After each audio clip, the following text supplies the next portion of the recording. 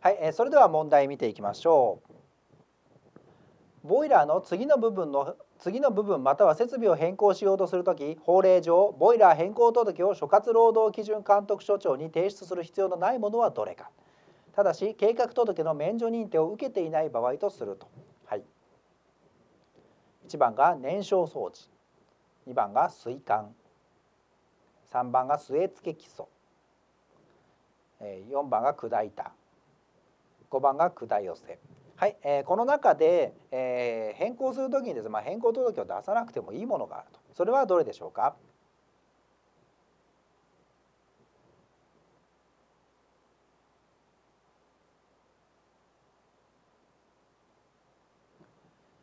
はい、えー、いかがでしょうか？答えはですねこちらです。水管ですね。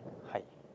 この問題もですね、まあ、よく出てきます、えー、変更届出さなくていいか。でそれもですねこの辺はともかくこの答え水管っていうのは結構多いんですね。なので、まあ、水管変える時は変更しなく届出さなくていいんだっていうふうに覚えておけば、えーまあ、とりあえず試験対策としてはいいのかなと思います。で、えー、これもこれはもう完全な僕のこじつけなんですけど、えー、イメージとしてね、まあ、水管ボイラーって水管いっぱいあるからその水管がね1本詰まったとかっていうので、えー、最近はまあそういうことはほとんどないらしいんですけどね。聞くところによるとね。昔は多分水管のねちょっとぶっ壊れたっていうちょいちょいあったんじゃないかなと。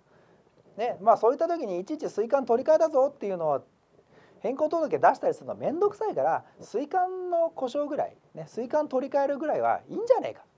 というふうに法令作る時に考えたんじゃないかなじゃないかなですよ。俺聞いたわけじゃない。僕は聞いたわけではないので、えー、なんとなくねそういうふうになそうなんじゃないかな。追加は除外してあるんじゃないかなという勝手なイメージをしてまあ、そんな勝手なイメージをつけておくとこの中でねどれが違うんだって覚える時に、まあ、水管ぐらいだったらいいんだなってっていうふうに考えておいたら、えー、覚えやすいんじゃないかなと思います。でこの辺ね、えー、ちょいちょい出てくるので、えー、これもしっかり押さえておきましょう。というわけで、えー、変更届を出さなくてもいい。